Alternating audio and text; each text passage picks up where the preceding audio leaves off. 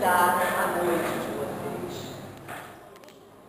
O anjo chega perto dela e diz, mulher, esta noite Jesus virá à sua casa. A mulher fica abismada, fica assombrada, maravilhada. Jesus virá na minha casa, sim, prepare-se. A mulher já começa a correr, já começa a pensar o que eu vou dar de jantar para Jesus. E começa já a comprar frangos, assados, conservas, bebidas. Quando de repente ela escuta, toque, toque, toque. Ela corre, vai abrir a porta. Quando ela abre a porta, está de frente uma mulher, roupas muito pobres, e falando, senhora, eu preciso trabalhar, eu estou com muita fome, por favor, arrume alguma coisa para me fazer. A mulher logo diz a ela, por favor, não me interrompa, eu vou receber uma pessoa, uma visita, uma visita maravilhosa, vá-se embora,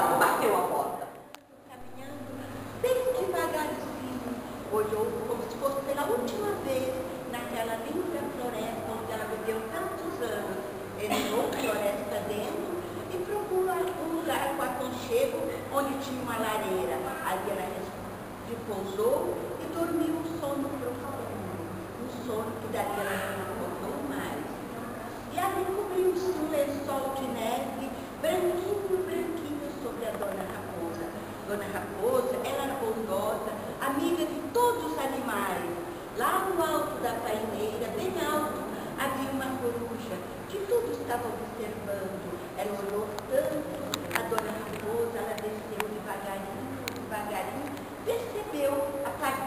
amiga. E ali ela ficou triste olhando a sua amiga. E ali foi vindo outras graves. Ficaram minha casa. Fala da minha casa, sua morada. Senhor, eu quero tanto te ter perto de mim, Senhor. Senhor, venha me visitar. Eu espero tanto a tua visita. Senhor, cadê você? Eu tanto te espero. Naquele dia, ele tinha a certeza que Deus viria na sua casa. E aí o que ele fez?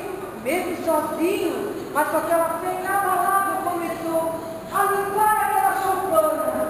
E limpava aqui, e limpava ali. E prontamente resolveu fazer o quê? Uma sopa de repolho. Imagina uma, sopa-